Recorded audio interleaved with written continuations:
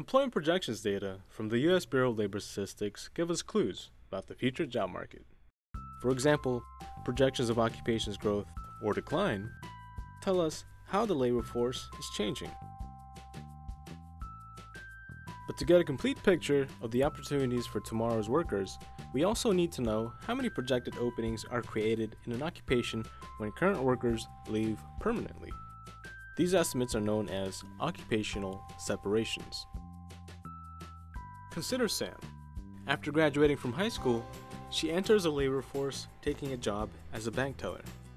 She leaves that job after five years to go to college full time. Upon earning her degree, she re enters the labor force and finds a job as an accountant. But eight years later, Sam decides to switch careers and she transfers to a human resources specialist job. After 15 years in that field, she's promoted to a job as a financial manager, where she works for 12 more years and then retires. Sam held jobs in four different occupations for an average of 10 years, each over the course of her 40 year career. Each time Sam left an occupation, she created an opening for someone else to replace her.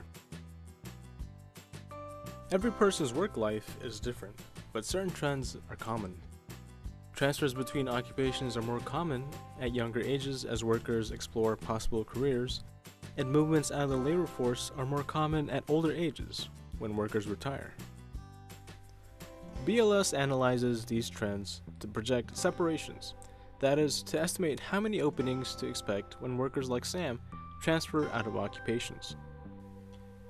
These occupational separations represent opportunities for new entrants into the labor force such as Sam, when she got her job as a bank teller, as well as for existing members of the labor force who transfer to a different occupation, like when Sam left her job as an accountant to fill an opportunity for a human resources specialist.